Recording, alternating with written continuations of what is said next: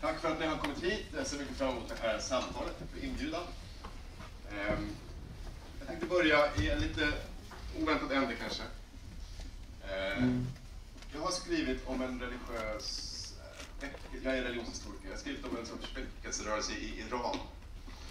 En sorts eh, sammanhang där man träffar, män träffas i Iran och sen så gör de oerhört maskulina fysiska övningar tillsammans, slår sig för bröstet och hoppar omkring rytmiskt samtidigt som de lyssnar på poesi och gråter. Mm. Och eh, om man frågar de här männen om den här rörelsen så tycker de att det här är en självklar grej man kan göra på en torsdagkväll eh, som en sorts självklart uttryck och en självklar verksamhet som de tycker att de kan ägna sig åt. Men kommer man utifrån så är det ju uppenbart att det här är någonting som är väldigt specifikt iranskt shia-muslimskt. Det finns en tusenårig, eller mer än tusenårig historia av att göra kroppsliga övningar till poesi under känslomässiga former i Persien. Man har gjort det här nu under islamisk tid, man gjorde det tidigare den förislamska perioden. Okay. Om man nu hoppar till eh, förra sommaren så var jag på en sån här konsert med min dotter på Coldplay Coldplay är ett arenarockband från England.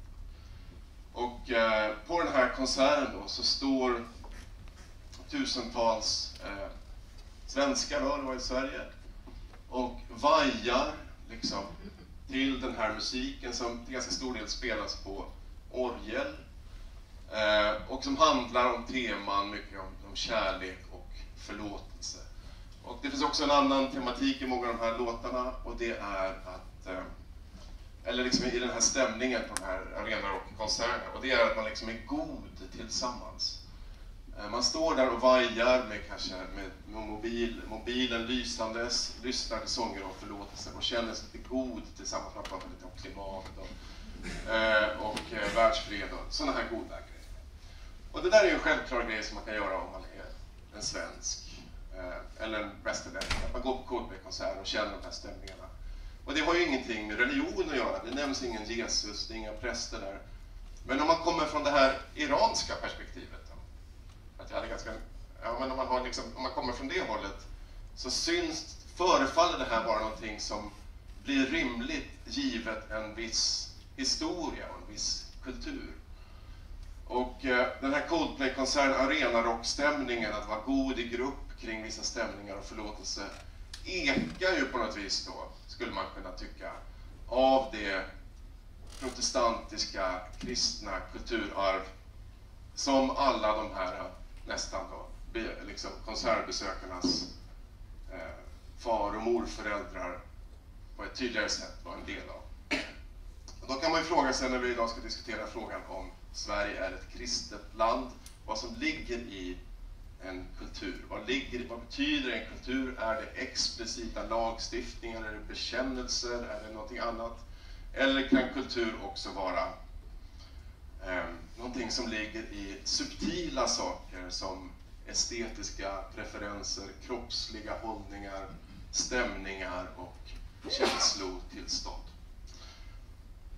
Det är en sak vi ska diskutera och vi ska börja, alltså, ni känner ju alla de här två. Eh, Joel eh, Aldorf som är teolog och kyrkohistoriker och skribent och eh, författare.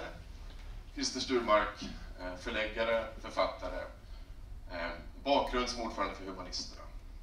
Eh, men nu framförallt förläggare. Eh, och det här, hela upplägget i det här är ju att hitta en form för att vara en oense på ett sansat vis. Och det är ju väldigt, det är väldigt behjärtansvärd eh, ambition. Och ni ska få börja med varsin liten anekdot innan vi kastar oss in i denna oense eh, på ett sansat vis debatt som vi ska. Joel, vill du börja? Ja, en, en, eh, en dubbel anekdot tänkte jag ta. För temat som sagt kristen kultur och eh, är Sverige en kristen kultur? Så i ett Eh, för ungefär tio år sedan nu så tillbringade jag och min fru ett år i USA, i den amerikanska södern på ett universitet där. Och då så hade vi en söndagsrutin som liknar ganska mycket en eh, vanlig söndagsrutin som vi har i Sverige. Så man går i kyrkan och sen efter, efter så går man um, ut och äter någon slags brunch, lunch liknande sak. Och det här gjorde vi då, hittade jättefina eh, kaféer och, och restauranger och så för detta. Och det vi märkte då var att här satt vi och talade om veckan och talade om söndagens gudstjänst, kanske pratade om predikan, vad hade prästen sagt och inte sagt och så.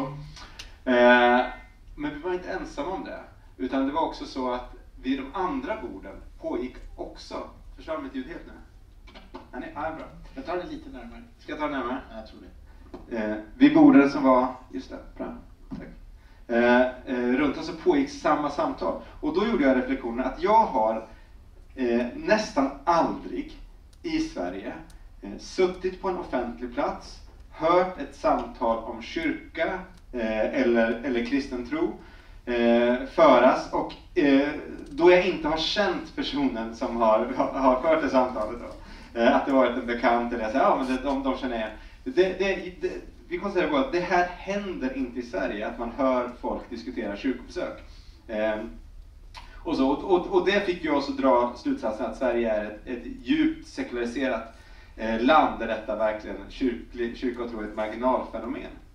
Sen så när vi kom hem så fick vi, så fick vi vårt första barn eh, och eh, så var det skolavslutning, på, på, eller dagisavslutning. Och så eh, sjöng barnen sina sånger för oss som de hade övat. Och sen så sa fröken, ja men nu sjunger vi alla tillsammans. Eh, Gläns över sjö och strand eller Nu tändas tusen juleljus, någon av de två var det. Och då var det, för det första när man så här, sjunger den där och förväntas sjunga så in, så, och, och lyssnar på texten så hör man, den här låten är superkristen. Och inte bara det att den är superkristen, alla kan den.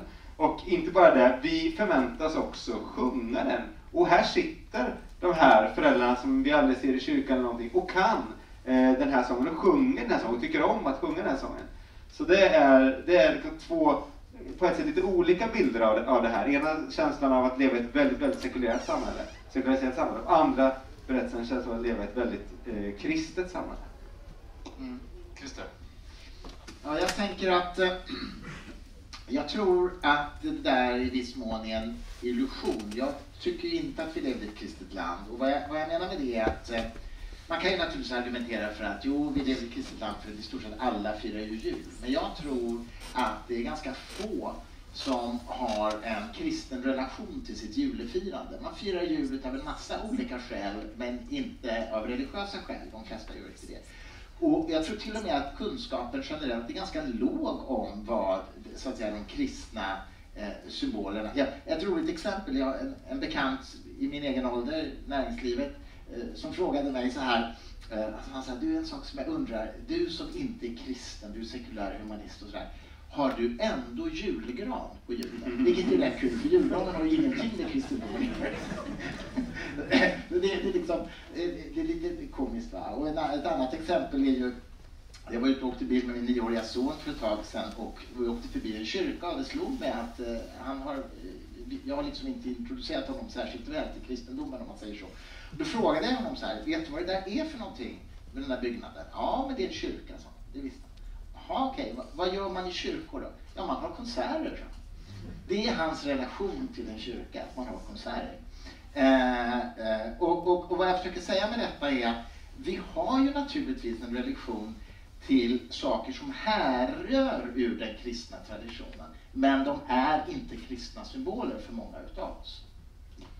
Ja, eh, träffade någon som skrev en avhandling om eh, förskolan och lite eh, traditioner och sekularisering i förskolan. Och då var det en förskollärare som hade sagt eh, på frågan vad gör ni på påsk? Ja, men vi brukar korsfästa en kyckling. En korsfäst kyckling. Eh, apropå eh, ordning på de här symbolerna. Okej, okay, men då, då kanske vi utifrån det då måste börja med själva grundfrågan då. För att när du säger att julgranen inte är kristen, till exempel, eller att, att ha konserter i kyrkan inte är kristet, då utgår ju du från vad det innebär att någonting är kristet. Så att vi måste, vi måste börja med någon definition här, vad är det vi menar när någonting är för, vad ska någonting vara för att det ska gillas som kristet? Mm. För annars kommer vi totalt tala förbi eh, mm. varandra. Här. Och här finns det förstås inget konsensus i... Jag får intryck av att du, Christer, tänker rätt mycket så här, alltså det finns en kunskapsaspekt, man ska förstå eh, dogmerna, man ska ha liksom eh, man, man ska hålla med om kyrkans lära. Eh, alltså en ganska sån eh, intellektuell förståelse av vad, vad, vad som är en kristen identitet och kanske också en, en, en människas identitet. Det här var så här, när jag pratade med med Lena Andersson, författaren, och, och jag håller med henne ibland, håller inte med henne. Jag är osäker på vad det här berodde på. Och då så sa jag till henne, jag, jag tror att liksom 5% av vad en människa gör är liksom rationellt och överlagt och 95% är intuitivt. Och hon sa, nej tvärtom. 95% är rationellt överlagt och 5% är... Och då jag, okej okay, det är det här, det är här vi skiljer till. Jag tror att människan agerar mycket mer intuitivt. Eh, och, och, därför så kan jag se omedvetna avlagringar som, som bärandes en kristen identitet kulturellt, oavsett vad de här vad, vad, vad rationaliteten är. Eh, är inte. Sen kan man fortfarande diskutera om, man, om det verkligen bör betecknas kristet eller inte. Men, men den synen på en människas identitet. Jo, men alltså här tror jag nog vi kanske är mer överens än vad du tror, höll jag på att säga. För det första tror jag inte heller att vi huvudsakligen agerar rationellt. Och det mm. finns ju väldigt mycket forskning inom inom psykologi som tyder på det. Så det är ju faktiskt det är ju evidensbaserat att påstå att vi inte är särskilt rationella. Det är rationellt att påstå att vi inte är särskilt rationella. Eh, så det, det håller jag med om. Eh, sen är det naturligtvis på det sättet att jag, jag har ju inget intresse av att förneka att, att vi har en massa spår av kristendomen i vår kultur. Det är tveklöst på det sättet. Mm. Jag hoppas att vi kommer in på huruvida det är bra eller dåligt att vi, att vi åberopar ett antal värderingar och kallar dem kristna, för det har jag en del uppfattningar om. Men, men naturligtvis så har vi så att säga, ett, ett, ett kulturarv. Det jag pratar om när jag säger att vi inte är ett kristet land idag, det är egentligen, det görs ju en del opinionsmätningar på det här, bland annat eh, eh, Karin Bråkenhielm som du säkert känner, professor i livsåskådningsvetenskap, präst i Svenska kyrkan. Han har ju under 30 års tid tittat på svenska folkets trosuppfattningar inom olika områden, inte bara religiösa trosuppfattningar. Men hans siffror via opinionsundersökningar visar ju att, så att säga, andelen som har, som har en gudstro i någon mening, den minskar konstant så att säga. Även, vilket förvånade mig, new age-föreställningar minskar också. Det trodde jag ökade. Det ökar nämligen i sociala medier väldigt mycket, men tydligen inte bland människors trosuppfattningar generellt. Så i den meningen så är vi så att säga mer ett sekulärt land än ett kristet land idag. kan man säga så här att det finns två liksom, kristendomsbegrepp här då som finns lite parallellt. Det ena är att allt som har en tra kristen tradition, kanske julgran, lite så man går in gläds över strand och tycker om julkrubbor och sånt där. Allt det är kristet. Eller så har vi en mer snäv definition. Julgranen vi mycket liten. Stjärnan i toppen. Ja, stjärnan. Eh, mycket ja. eh, då måste jag bara säga någonting om det här med julgranen. Alltså, det är ju inte så att någon av, någon av någon religions symboler dyker upp bara i den religionen. Utan även liksom alla andra symboler i kristendomen eller judendomen har, eller andra religioner har ju ett arv som kommer längre tillbaka. Så det finns ju väldigt svårt att liksom isolera rena Jo, men det hade varit mer adekvat att fråga mig, har du en julkrubba trots att du inte är kristen? Då okay. förstår jag liksom logiken i frågan. Ja, men vi har det ena breda kristen kultur är kristet, eller kristen bekännelse och, och allvar med kunskap är kristet. Spelar det någon roll då egentligen vilket av de här, för där kan vi ju bara enas, där stipulerar man ju definitionen. Men nu menar vi kristet kristen kultur, då kanske är överens. Nu menar vi kristet i bekännelsebemärkelse. Tycker ni att det har någon betydelse vilket kristendomsbegrepp man har, så att säga? Får det någon, finns det en underliggande agenda om man vill säga att julgranen till exempel är kristen? Jag tror det finns en underliggande agenda om man börjar tala om kristna värderingar, vilket egentligen kanske är viktigare, för kristen kultur är ju som sagt en definitionsfråga. Jag har liksom inga problem med att definiera det på ett sådant sätt så att vi skulle säga att ja, vi har en kristen kultur i vissa avseenden. Kristna värderingar, det är viktigare tycker jag. Mm. Det Nej, men, ja, precis. Det, eh, alltså, det är så må, man har så många agendor i sitt liv, känner du inte det Christer? det, det, det, det, har ju, för mig har det... Eh, alltså jag, jag kommer ju dels från en frikyrklig bakgrund och där har vi varit väldigt, eh, haft ett väldigt så här, snävt kristendomsbegrepp. Liksom. Det, kan, det, det, det, det, räcker nästan inte ens med bekännelse. Utan du måste verkligen känna och erfara och, och, så här, och det är verkligen de som det verkligen räknas som. Och så. Eh, och, och, för mig så har det väl lite att göra med, människ med människosyn då, att se att en människa är, är, eh, består väldigt mycket av, av det man gör och den kulturella sidan och, och så. Och jag tror att värderingar är del ofta av ett större kulturellt paket. Eh, så jag har, jag har inte, jag har inte liksom ett intresse av att, om man säger, räkna in själar på det sättet. Eh, eller, eller få upp någon statistik eller något sånt där. Eh, men, men däremot så kan jag, kan jag tänka att det, det, är viktigt för oss i vår syn på oss själva att inte bara se oss som, som, som huvuden på pinnar utan att se att vi har en kropp och i den här kroppen sitter en kultur och den här kulturen har, eh, har historia och sådana saker. Eh, och, och, i det är vi förbundna med, med också det kristna liksom kulturen på gott, och, på gott och ont. Det finns ju ingenting i Europa som inte kan tänkas utan kristendomen. Varken nazismen eller demokratin, mänskliga rättigheter, kommunismen. Ingenting kan tänkas utan kristendomen, utan kristendomen är, är överallt. Samtidigt, för, för att säga, samtidigt tycker jag att ett väldigt ett bra exempel på den sekularisering som genomströmmar Sverige idag i modern tid, det tycker jag är Svenska kyrkan. Svenska kyrkan har ju blivit sekulariseringens högborg i stor utsträckning. För det första har man ett närmast homeopatiskt utspätt gudsbegrepp inom Svenska kyrkan.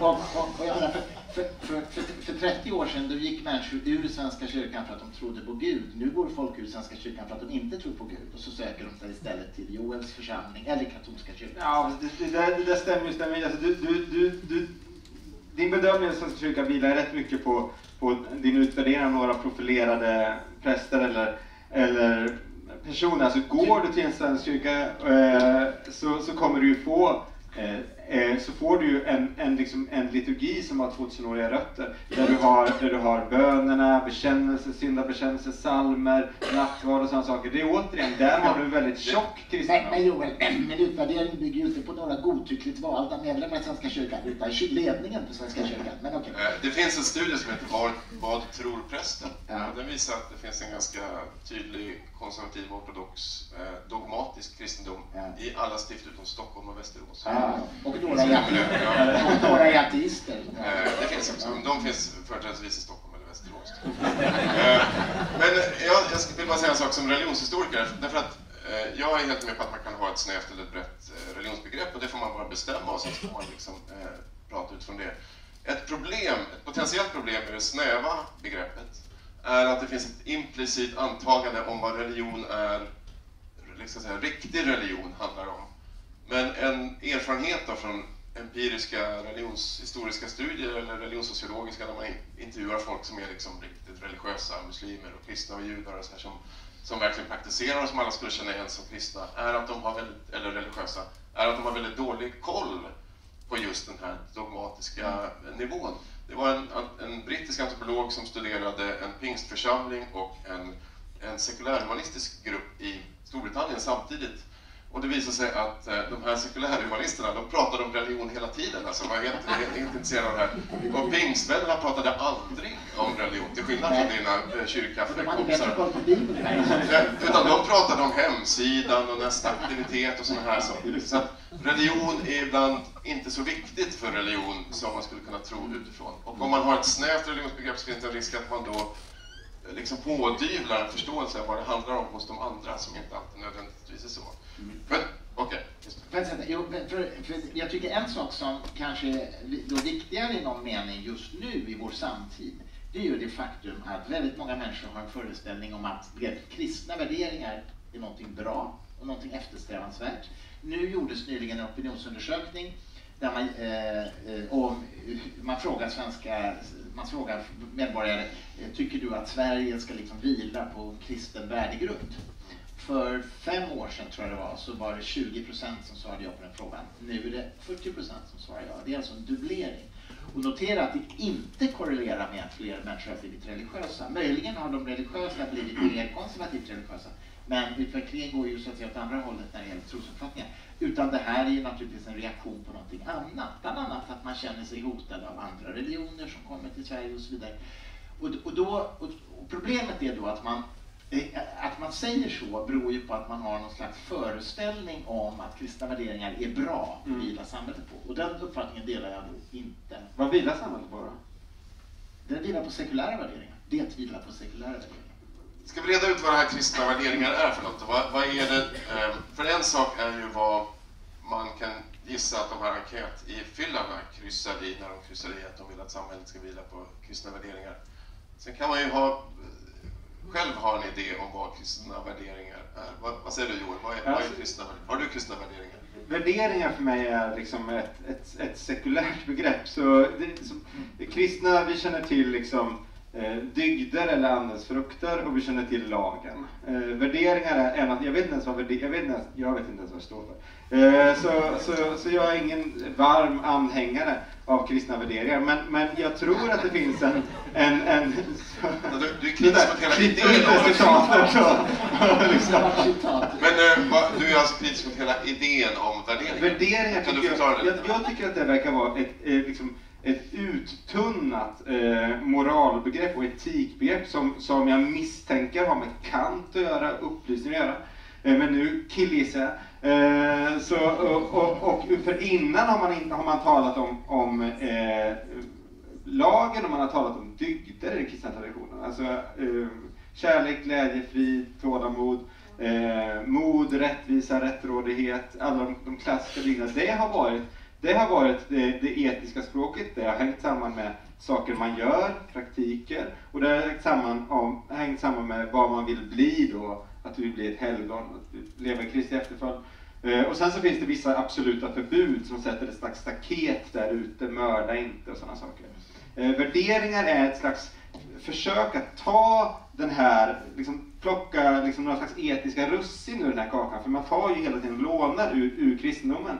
Och så, och så säger man att ja, nu, nu har vi rationellt kommit fram till de här etiska principerna och de råkar mer eller mindre exakt sammanfalla med, med, med det kristna etiken, det kristna arvet. Men, men det låtsas vi inte om utan vi säger att de är sekulära och rationella och så säger vi, så kallar vi dem värderingar. Så det, det är för mig ett, ett, ett uttunnat eh, plocka russin ur kakan-grepp. Jag tror att, soci- eh, re- jag, kanske Kant, men eh, sociologiskt tror jag att det hör hemma hos den här Talcott Parsons. Mm. En, eh, en tidigare skola som var väldigt dominerande inom sociologin som menar att ett samhälle binds ihop av vissa grundläggande gemensamma då, eh, föreställningar om verkligheten och, eh, och sådär. Och det blir då värderingar. Sen så dröjer sig det här kvar, försvinner lite ur sociologisk forskning men dröjer sig kvar i politiken som Mm. det brukar och i policy och värdegrund och sånt här. Mm. Så att det, det, jag- det kan vara den moderna förklaringen till begreppet. Vad säger, vad säger du om den här kritiken? Nej, men jag, jag upplever att de värderingar som eh, de värderingar som jag och Joel har gemensamt, och det är nog ett antal sådana, de menar jag är mycket mer universella än att kristendomen kan claima någon som helst rättighet eller skapar bakgrund till detta. Eh, eh, jag menar, föreställningar om människovärde, om, om mänskliga rättigheter, om än i rudimentär form, har funnits inom massa filosofiska sekulära traditioner också. I Indien finns det en antik filosofisk tradition som heter Lokayata som är samtida med Buddha, som är, har en helt naturalistisk verklighetsuppfattning, alltså inga övernaturliga inslag överhuvudtaget. Men man försökte ändå formulera så att säga, en etisk grund för, för, för, för människan. Um, och den finns ju också eh, inom, andra, eh, eh inom andra religioner så att säga. Sen är det ju ett antal värderingar som kristendomen har byggt direkt på Bibeln och en del av dem är vi ju rätt glada att vi inte längre har. Synen på homosexuella till exempel, synen på kvinnan ska tiga i församlingen. Eller Svenska kyrkan motarbetade arbetarrörelsen under, under ganska lång tid för att de förhäver sig mot Guds ordning och sådär. Så att jag menar, idag, de värderingar vi har idag och som jag tror att både jag och Joel tycker om och du i samhället, de har ju uppstått inte tack vare utan kristendomen utan trots kristendomen i Sverige. Nu är frågan hur vi ska skapa en, en, en, en sansad oensighet eh, kring det här eftersom Det är det är väldigt sansat, inte så oense nu då. Ja, men jag, jag, jag, jag, vi, vi är nog oense om en hel del. Eh, jag, jag, till att börja med så bara, för det är bra att det här kommer upp, alltså det här när man säger att, något, att, att, om vi, att, att det finns en viss etik då som hör till kristendomen, som, som eh, det, finns liksom, liksom en moralisk, eh, moraliska föreställningar. Och, och, och då menar man ju som kristen inte att den finns, eller jag, jag menar i alla fall inte att den finns exklusivt i kristendomen. Utan det finns en, det finns en naturrätt, det finns en naturlig lag. Eh, eh, alla människor kan eh, på olika sätt, i olika traditioner och kulturer upp, upptäcka skillnaden mellan rätt och fel. Det uppfattar jag som någonting eh, naturgivet. Men det är också någonting som kan korrumperas. Det har vi, har vi sett många, många exempel på. Och det är också nödvändigt för en kultur att finna ett etiskt språk som gör att den här intuitiva känslan för vad som är rätt och fel både kanske utvecklas lite eh, och kan formuleras på ett, eh, ett, ett koherent sätt. Så. Eh, typ så här, människan är skapad till eh, Guds avbild, därför har den ett okränkbart och heligt värde. Det är Ja, det, och det, det har ju varit liksom, och, och, och, och det är den typen av, av, av etiska resonemang som, som, som vi, vi menar ligger men jag håller ju med dig om att kristendomen har förvaltat ett antal etiska värden, varav vissa tycker jag är direkt dåliga och varav vissa tycker jag är direkt bra naturligtvis. Men, men det gläder mig att vi är överens om att kristendomen har inte exklusivitetsanspråk till detta och det emanerar inte ur kristendomen. Och det finns naturligtvis filosofiska traditioner inom den sekulära humanismen också och inom andra filosofiska tankesystem så att säga och som är delvis överlappande men inte helt överlappande. Delar du Joels uppfattning att det finns en naturrätt? Att det finns det goda och det som är gott och ont finns liksom nedlagt i naturen och liksom, Eh. det bubblar upp i våra själar? Det där är ju en stor moralfilosofisk fråga som jag förhåller mig agnostisk till. Alltså det finns ju filosofiska traditioner som säger att det finns objektiva moraliska värden, eh, moraliska axiom i någon mening. Eh, Och andra som säger att det inte gör det. Jag har ingen tydlig uppfattning om det. det. Det viktiga för mig är att de är inte relaterade till övernaturliga krafter. När, när jag läste etik så, så inledde professorn första föreläsningen med att säga så här. Det finns en sak som alla människor i alla tider har varit överens om är fel. Och det är godtyckligt mördande av barn i den egna gruppen. Resten har, har man inte liksom varit överens om. Så jag är inte helt säker på det här Man måste ju se att när, när kristendomen växer fram så är det ju så att den för in några eh, helt eh, revolutionerande värden i den grekisk-romerska kulturen som är ett brutalt klassamhälle där, där, de, of, eh, där, där de, de nyfödda barnen inte har några rättigheter. Där det är ett, ett liksom lördagsnöje att gå och se gladiatorer ha ihjäl varandra och, så, och hela idén att så att säga Eh, de fattiga har ett särskilt värde inför Gud, att de har en särskild plats i, i, i Guds blick för Guds kärlek. Den är ju, den är vi så otroligt van vid, men den är ju en, en, en revolution och där sätter ju, och det här har ju många idéhistoriker visat, där, där, där sätts ju någonting i rörelse. Det finns i den judiska eh, kulturen tidigare, men där sätts ju ändå någonting i rörelse som har väldigt stor betydelse för, för västerlandet och, och för vad som, vad som komma skall. Och, och som, som dina så kallat sekulära filosofer som ofta var kristna eh, byggde sen vidare på. Locke och allt vad de heter. Jo, fast det finns, ju, det finns ju sekulära filosofiska traditioner som kommer fram till så att säga, liknande resultat i sakfrågan. Det gör de. Och de är moraliska men de är inte rationella. Nej, Det är nej, det som är problemet. moral kan inte vara rationell per definition. Nej, jo. Eh, Men den sekulära moralen kan inte vara... Alltså rationalitet är att resonera logiskt utifrån axiom. Det är rationalitet. Om? Ja, eller att ha ett, ett, eh, ett konsekvent resonemang som, som så att säga ja, hänger samman. Ja, precis. Och då är ju då, människan är skapad till Guds avbild. Eh, Ja, men alltså, det är inte rationellt. det är rationellt. Det är ett axiom.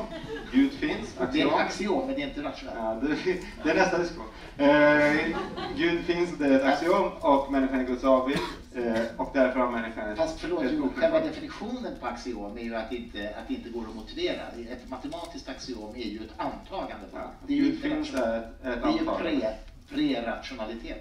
Kalla det... Men det, det, det, det, det är en utgångspunkt för ett resonemang. Det är så jag använder Ja, det. men det, är- så, det Och då, och, och då kan man det säga, mä- människan, människan härstammar från aporna, alltså har den ett unikt okränkbart värde i naturen och skapelsen. Det är inte rationellt. Är det lika icke-rationellt? Nej, det är inte rationellt. Det är inte, det är inte, det är inte, det är inte konsekvent. Fast, fast alltså, axiom har ju inte med konsekvens att göra. Axiom Den, den, utgångspunkt. den resonemangskedjan är inte, är inte konsekvent, den är inte rationell.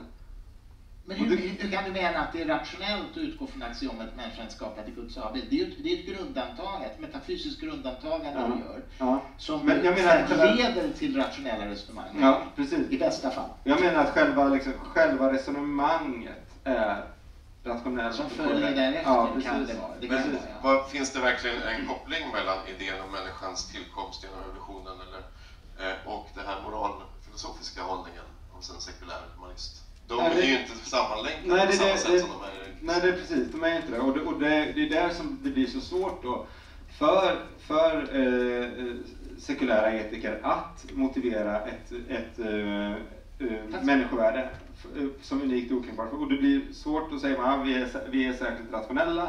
Okej, okay, men hur utsträcker du till spädbarn? Hur utsträcker du det till eh, de men, eh, mentally disabled? Hur utsträcker du det till de, till de dementa?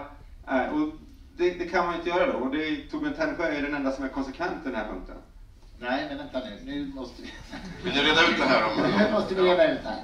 För det första så skulle du kunna ha hypotesen att det finns objektiva moraliska axiom som är oberoende av vad vi tycker om saken. Alltså i samma mening som det finns primtal eh, oberoende av vad vi tycker om saken.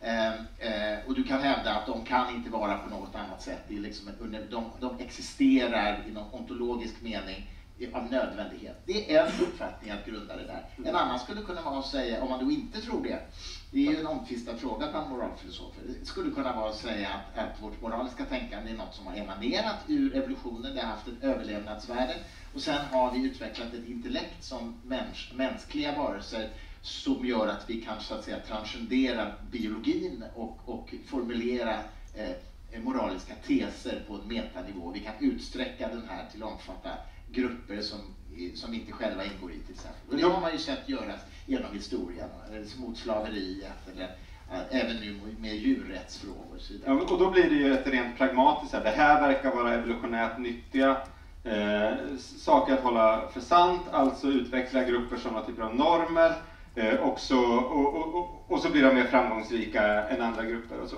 Men, men, men, problemet med pragmatiska argument är att de funkar bara så länge de är praktiskt nyttiga. Det ligger ju liksom i pragmatiken. Så när det blir, liksom, när det blir för, för dyrt att ta hand om sjuka, när det blir för, dyrt att, att ta hand om äh, människor som flyr från krig och sådana saker, då backar vi från våra ja, åtaganden. vi har en för tunn etisk... Fast moralens väsen i metafysisk mening är ju lika svår, hävdar jag, för en religiös troende som för en icke-religiös troende att definiera. Därför att det här har vi pratat om förut, men jag menar, redan Platon skriver ju om det här. Är, är någonting gott för att Gud säger det eller säger Gud det för att det är gott? Mm. Eh, om, om någonting är gott för att Gud säger det, då skulle det ju kunna bli gott att döda just oskyldiga barn, eh, om Gud sa det. Eh, men det tycker vi inte. Vi mm. menar att det är alltid fel, även om Gud skulle säga det.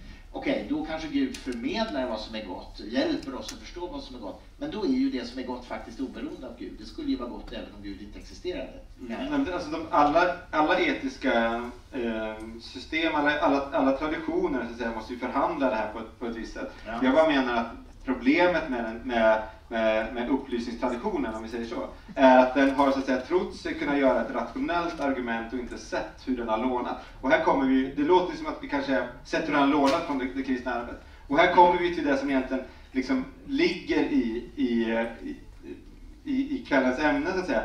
Huruvida mycket av det som vi uppfattar som gott i den västerländska civilisationen, som demokrati, eh, mänskliga rättigheter, eh, jämlikhet för den delen och, och sådana saker, säga, kan stå på eh, sekulära rationella ben eller om det kräver en slags metafysisk eh, underbyggnad. Så jag tror att, det, så här, eh, jag tror att det, det, finns intuitivt, naturrättsligt i, i människor att förstå att detta är rätt och gott. Så jag tror inte att kristna är nödvändigtvis bättre människor. Men jag tror att filosofiskt så, så har vi liksom lånat den underbyggnaden och nu är den underbyggnaden på väg bort och då får vi ett antal problem. Varför, får man, varför behövs det en ontologisk underbyggnad för att kunna upprätthålla en...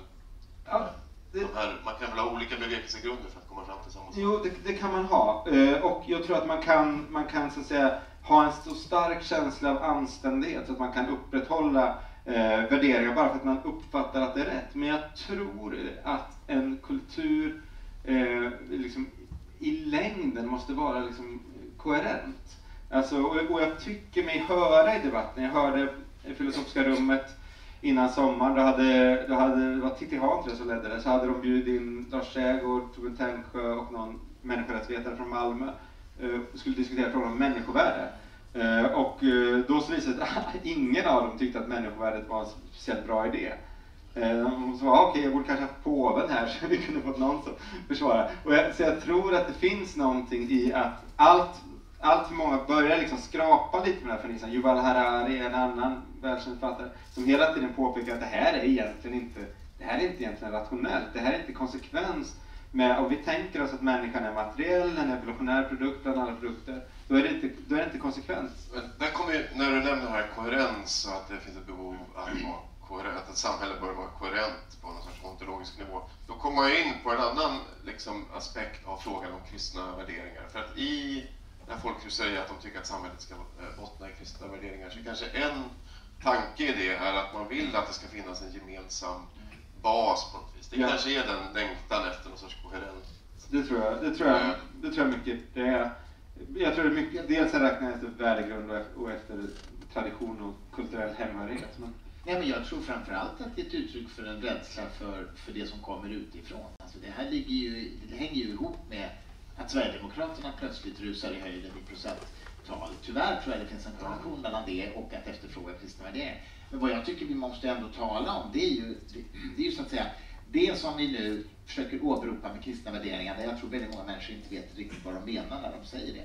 Har det verkligen i modern tid, om vi talar om bara 1900-talet, har det varit till gagn för den svenska samhällsutvecklingen eller inte? Och jag menar att nej, det har varit en bromskloss.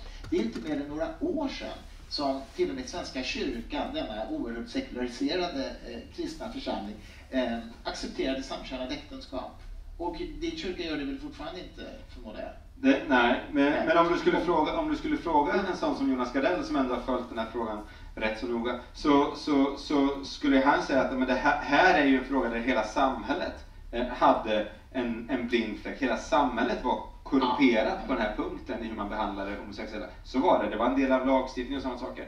Eh, Och i många eh, inom kyrkan, eh, många kyrkor var också föregångare. Så att det, det är liksom, det, Ja, men, ja. historiens kurva är mycket mer komplex än sådär. Men Joel, jag, alltså jag påstår absolut inte att om man bara är befriad från de här kristna värderingarna så tänker man rätt i de här frågorna. Alltså, absolut inte. Men vad jag hävdar är ändå att teologin och teo, tolkningar av Bibeln har bromsat en process som jag tror hade gått fortare till exempel acceptans av, av eh, homosexuella. Eh, det hade till exempel gått betydligt fortare eh, att acceptera legalisering av eutanasi, vilket jag definitivt är för. Det har vi fortfarande inte gjort i Sverige. Nej. Det tycker jag är kränk-. Ja, ja, jag vet. Där är vi helt oense. Jag tycker det är en kränkning av människovärdet att inte acceptera. Men, men, men jag menar, det är det som är intressant. Va? Att, att, jag tycker ju att man måste kunna diskutera sådana här saker utifrån en sekulär etisk grund. Det betyder inte att man är för eutanasi bara för att man inte har, krist, inte har kristna värderingar. Men det finns ett antal saker som har bromsat och hämmat eh, människors rättigheter som direkt emanerar ur kristendomen. Kvinnors ställning till exempel. Hur vi har betraktat, på, o, hur vi har betraktat ogifta mödrar i Sverige för inte särskilt länge sedan. Stigmatiserat, utfrysta och så vidare. Eh, det har att göra med kristna värderingar. Om man länkar det du säger du till att du kallar Svenska kyrkan för väldigt sekulär, en väldigt sekulär kyrka. Finns det ett problem i att när en religiös organisation gör någonting annat än det som du, lite hårdraget nu då, än det som du inte gillar, då är de inte längre religion, utan då är de liksom sekulär. Så att de, de binds då per definition till eh, det som inte... Nej, men jag, jag förstår var vi är på väg. Och jag menar, det, är klart att, det är klart att eftersom det inte finns någon entydig definition av vad, vad teologin ska stå för så kan du ju hävda att vad som helst är teologi. Ja, men visst. Och jag menar, jag är inte rätt person att avgöra om det här är teologi eller inte. Min poäng är bara att Svenska kyrkans teologi, för det första, som kristen teologi i världen så är den ju en extrem yttring, alltså åt det sekulära, liberala hållet. Om du tittar på hela skalan av hur kristendomen manifesteras i världen så är ju Svenska kyrkans tolkning en mycket liten, marginaliserad, ganska extrem tolkning av kristendomen. Eh, Det är naturligtvis deras fulla rätt att, att, att göra detta. Min poäng är bara att den ligger ju mycket närmare den sekulär-humanistiska etiken som jag företräder än vad de flesta kristna församlingar gör i världen. Det tror jag de skulle hålla med om faktiskt. Får jag bara? Det tror jag att många teologer skulle hålla med om. Ja, Att ja, det tror jag ateismen ligger närmare många andra religioner. får får jag bara liksom adressera det här med, med kvinnor och hbtq och så vidare. Alltså, problemet när- vi pratar om etik och, och moral på det här sättet, och, så, så, och överhuvudtaget när man pratar om historien, så är historien så fylld av så mycket liksom, komplexa faktorer. Som jag sa, i, i västerlandet så kan du inte säga, alltså allting är relaterat till kristendomen. Nazism är det, för kvinno, liksom, patriarkala strukturer är det, mänskliga rättigheter är det. Eh, Martin Luther King var baptistpastor. Alltså du, du har liksom hela spektrat i det. Så det, det, är liksom, det, det, är inte, det är inte, för, för mig är det, alltså, jag uppfattar inte att det är en meningsfull eh, distinktioner som är så djupt präglade av. Så att de här sakerna löper på på så många olika sätt. Och då, då kommer vi lätt i en diskussion där, där vi, liksom, vi ser så här, godhetstrofén där framme och vi ska se vilken av våra traditioner som först hinner fram till den, den kompletta och fullständiga moralen. Och, och, och, så, och så jämför vi någon slags historisk liksom body count. Liksom, jag får ta ansvar för homosexuella förtryck och du får ta ansvar för Nordkorea och sen tar jag ansvar för sådär. Vi har en sekulär regim. Uh, eh, och, och, så vidare. Och, och det, blir, man, de, det här måste man kunna se uh, och, och, och, här är det väldigt praktiskt som, som teolog att ha tillgång till begreppet synd och kunna se att organisationer, kyrkan har många synder på sitt samvete. Men det har också vetenskapen. När vi talar om kvinnors rättigheter så är det liksom det, det, det rationella vetenskapliga genombrottet på 1800-talet är en katastrof för kvinnor väldigt mycket. Kvinnans hem krymps jättemycket i den gryende moderniteten, speciellt den borgerliga kvinnan. Eh, och, och, och, och, trycks tillbaka eh, när hon blir liksom begränsad till hemmet på det här sättet, underkastad den här typen av, av liksom biologiska förklaringar till hennes underlägsenhet och sådana saker. Så att det finns mycket, många synder på många traditioners samveten här skulle jag säga. Och om vi går till upplysningsfilosoferna och tittar på deras kvinnosyn, deras syn på andra, på, på eh, andra etniska grupper, så hittar vi också väldigt mycket elände. Men samtidigt finns det ju väldigt många som har personlig erfarenhet av att ha brutit sig ur ett kristet yeah. förtryck, eller att, att upplevelsen att ha mm. hållits tillbaka eller tvingats på eh, berättelser och föreställningar som man inte har gagnats av. Yeah. Och som bär det traumat. Det är ju väldigt många sådana vi har i Sverige. ja, precis. Och många av mina vänner liksom räknas dit sådana här samtal har jag ju ofta med dem. Och är det då, bär inte de kristna kyrkorna något ansvar för det? Eller kan man liksom hela tiden då säga att ja, men det var ena sidan och andra sidan och alla andra var också ja, just, men, nej, men precis, Bör man inte axla sitt ansvar då? Man bör, man bör definitivt hela tiden ägna sig åt en, åt en rannsakan och åt en, åt en eh, liksom så här, den, den, den dagliga omvändelsen och se och lyssna på sådana här, såna här historier. Och det här kommer vi alltid, eh, samtidigt när vi för intellektuella samtal, så det är en sak att föra pastorala samtal med folk som är drabbade och det är en, sak, en annan sak att, att föra liksom, intellektuella samtal så här på, eh, liksom, på en estrad. Men jag kan ju också se varför, alltså syndakatalog, varför blev den så traumatiserande? Alltså, det var inget nytt i historien att, att, att kyrkan hade tydliga regler, att människan levde med tydliga regler, tydliga idéer om rätt och fel. Eh, nej, men det fanns, det fanns en period här där vi hade ett väldigt starkt, eh, eh en väldigt stark autenticitetskultur växte fram, där liksom rätten att få förverkliga sig själv blev väldigt viktig kulturellt. Och kyrkorna eh, eh hängde kvar i en gammal disciplineringskultur. Eh, och de här två kulturerna krockade. Och, och, och det ledde till att eh, ett par generationer kom i kläm. Eh, idag skulle jag säga att de som växer upp i kyrkorna idag eh, ganska sällan har den typen av trauma. Men, men det finns de här, de här personerna. Och, men, men det här är inte, om jag sitter liksom med, med en person och då vet jag, vet Charles Taylor skriver så här om disciplinering. Det, det säger jag inte då, men, men vi måste kunna ha den här dubbla blicken på, på sådana här fenomen. Jag tror att man får problem om man vill helt liksom isolera för eller nackdelar med kristna värderingar. Eller ja, om, man, om man ser lutherska, svenska lutherdomen så är det förstås Eh, alltså Lutherdomen och reformationen är ju också en del av samma modern, liksom modernisering Absolut. som upplysningen. Det var det första jag sa, att de är överlappande. Så de är oerhört överlappande.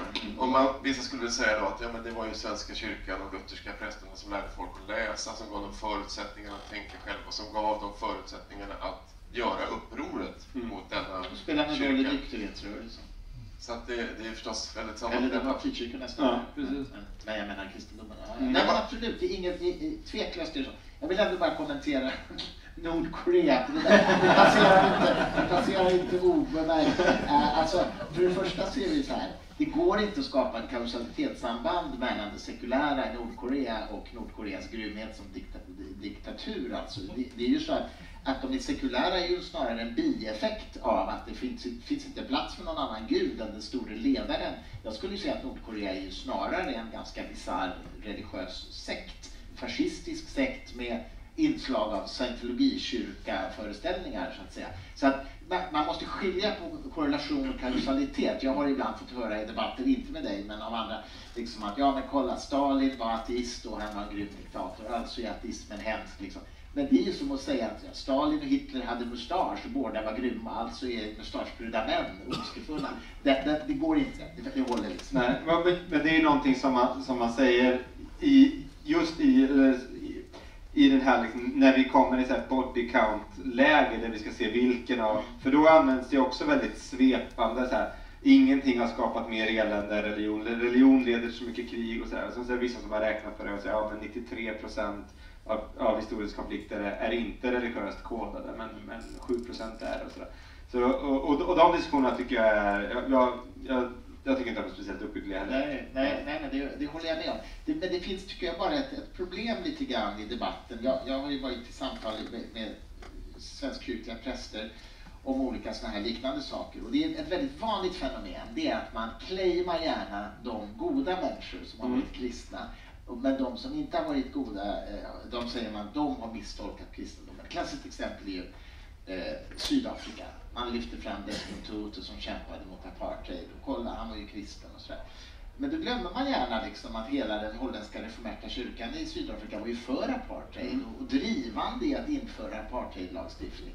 Och de argumenterade ju för det här med teologiska argument, mm. med bibliska argument. Mm. Du, du, kan det här bättre än jag, men jag tror att det var 1969 som man hade ett stort kyrkomöte i Sydafrika där man faktiskt presenterade liksom ett dokument som förklarade på teologisk grund varför vi måste ha apartheid här i landet. Mm.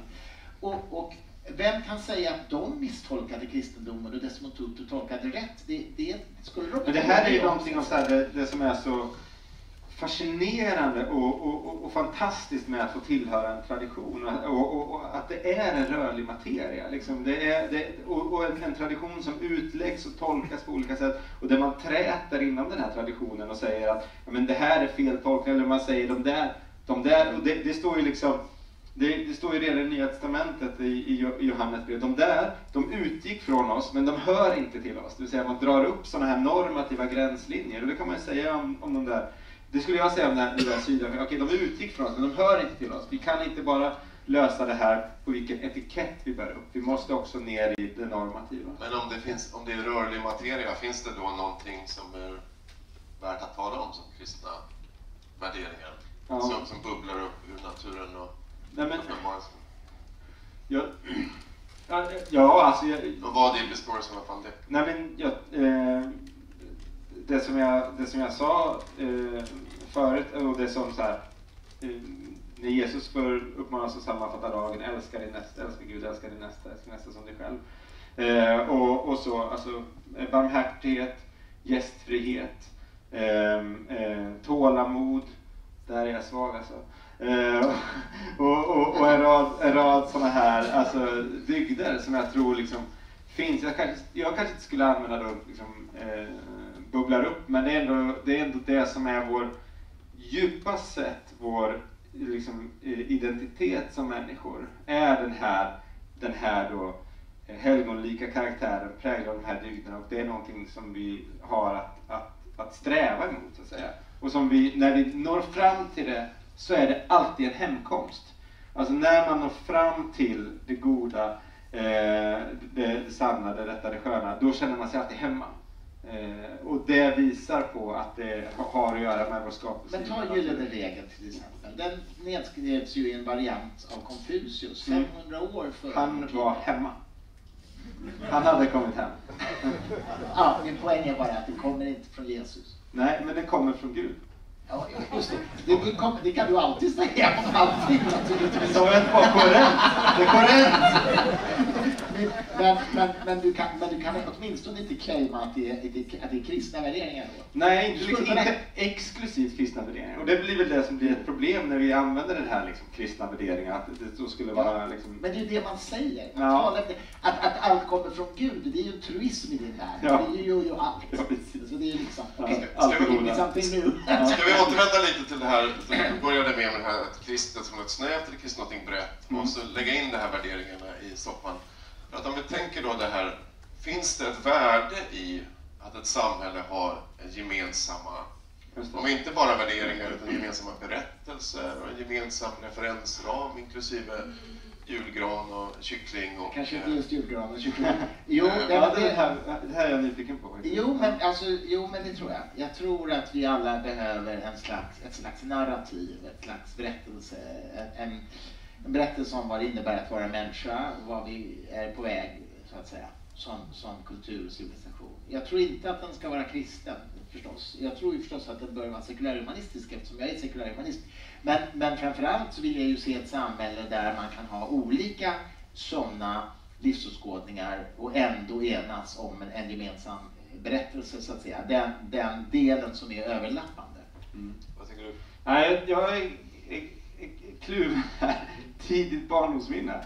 När jag satt runt ett eh, bord i, i matsalen i skolan, jag var kanske åtta år. Och så sa jag så här, så, så gick det upp för mig att mina klasskompisar firade jul.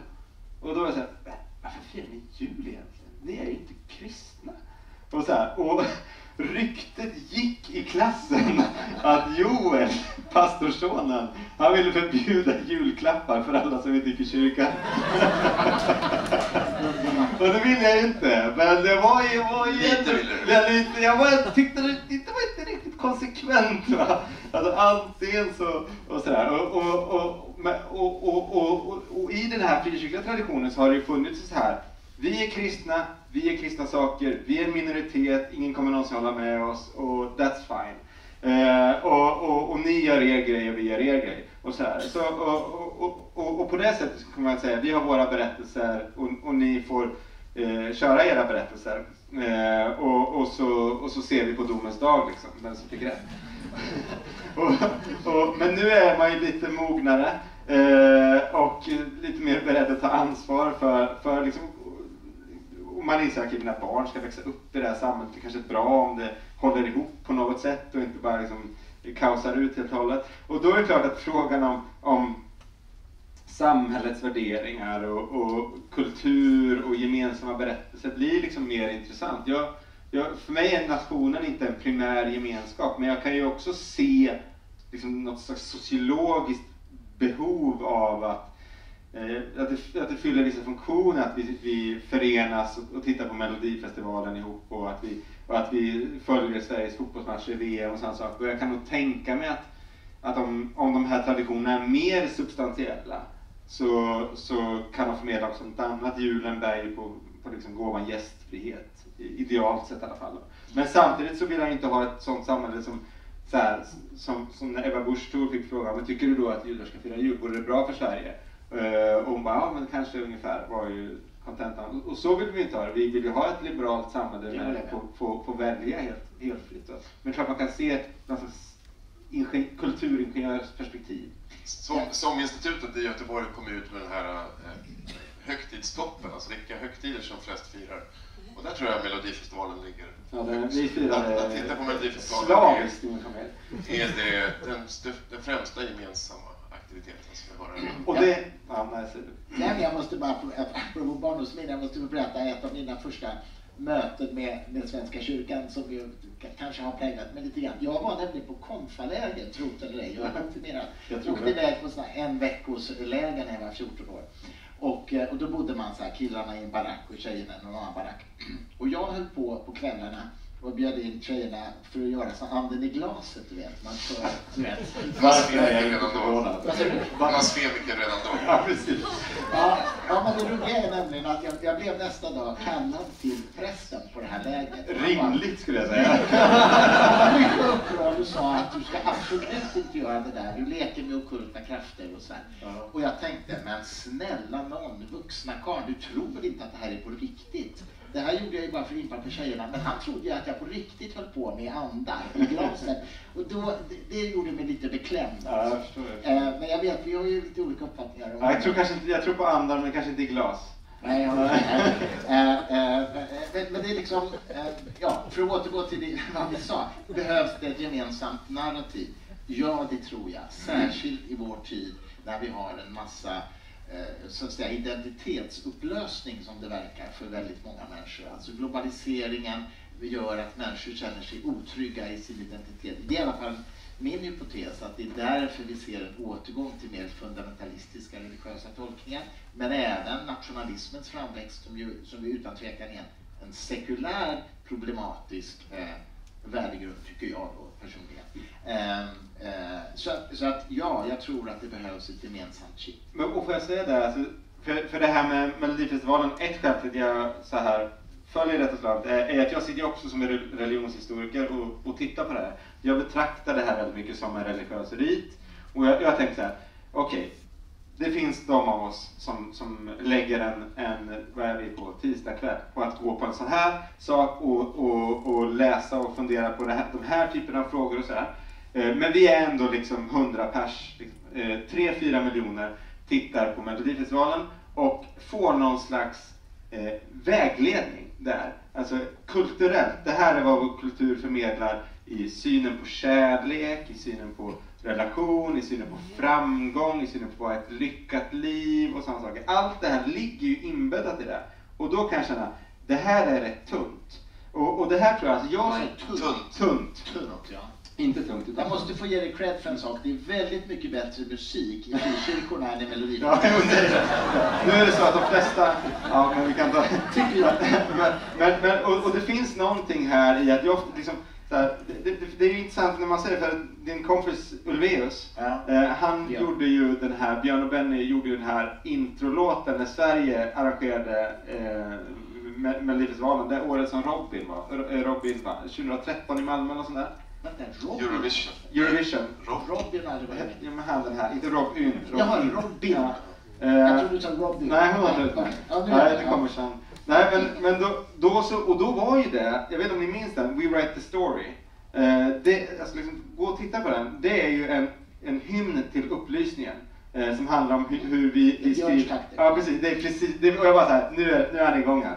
Eh, liksom, nu försöker han liksom skapa ett narrativ för liksom, Europa, upplysningen, nästa steg för elden vidare, detta stolta arv och nu ska vi säga typiskt så heroiska som man förknippar med det sekulära. Så här. Och, och på ett sätt kan man säga såhär, good luck liksom, men jag tror att det är liksom Samir och Viktor at the end of the day som får ta med sig. Och jag vet inte om det är mycket att hålla i handen liksom, men ja. Jag måste få säga till Björns försvar att jag tycker en av de vackraste sånger han har skrivit handlar ju om religiöst tvivel. Ja. Du måste finnas ja, i Kristina från Duvemåla. En hyllning till människans empatiska Den är fantastisk. Och hans egen andlighet, absolut. Ja. Det finns ju en... Han är på väg hem. you wish. eh, kristna värden är ju kanske då svåra att definiera och man vet inte riktigt om det är Desmond Tutu eller eh, apartheidregimet som man ska eh, följa eller vad, vad det egentligen är det handlar om. Men vad i Sverige så finns det ju faktiskt lagstadgat också en mm. värdegrund kopplad till skolan och skollagstiftningen där det finns definierat vad svenska skolan ska förmedla för värden. Mm. Och det är en punktlista på fem stycken saker. Alla människors lika värde, att ta hand om de svaga, jämställdhet mellan kön och sånt där. Um, vad, hur ser ni på det? Att man, skapar, att man helt enkelt använder den vanliga demokratin för att fastställa vad det är som är vår gemensamma berättelse? Ja, demokratin kan ju aldrig, demokratin kan ju aldrig vila på sig själv. För den kan ju, man kan ju rösta bort rättigheter för minoriteter som man gjorde på, på 30-talet. Så, så, så, så, så, demokratin är ju bra när den kommer fram till bra saker. Och demokratin är farlig när den kommer fram till farliga saker. Och där kommer man ju till det, det är som den här eh, tyske juristen Böcken förde sa på 70-talet, att, att demokratin måste, liksom, kan inte bära sig själv. Eh, och som ju också blev skälet till annat tills Jürgen Habermas också började vända ifrån sin idé att det rationella samtalet, det liberativa samtalet kan liksom eh, landa i, i, i, i rättsstatsvärderingar. Alltså, vi måste nog ta det här judisk-kristna arvet på allvar. Vi kan inte förstå ord som människovärde, person och sådana saker om vi inte har det med oss. Så, så jag tror inte att dem, alltså jag, jag, tror att demokratin i dess nuvarande form är utmärkt, men jag tror att så grunden skakar, jag tror att det är det vi känner av. Vad säger du? Ja, men jag tror också att eh, till exempel skolsystemet måste vila på vissa saker som ligger utöver bara den demokratiska processen, alltså vissa grundvärden. Jag tycker dock inte att det ska stå att den ska vila på kristen grund, vilket det gör nu i skollagen, och humanistisk tradition. Och då menar man ju inte sekulärhumanismen utan man menar bildningstraditionen. Den kristna humanismen. Mm. Ja, precis. Eh, det borde inte stå. Men i övrigt så tycker jag det är riktigt att man stipulerar vissa värden för, för, för skolan. Det, det, det tycker jag. Det är nödvändigt, ja. Det är Det är nödvändigt. det. Eh, Joel Halldorf, Christer Stumark. Vi har talat i en timme. Oj, vad. Eh, det har varit mycket stimulerande och eh, tacka